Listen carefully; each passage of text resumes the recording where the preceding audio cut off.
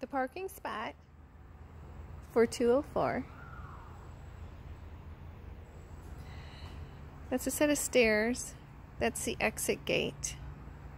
So if you walk down the stairs, you would turn to the right, and this is where your car would be. So this is the parking spot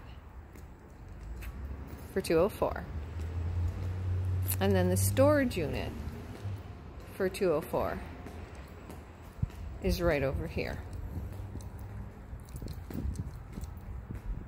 So around the pole.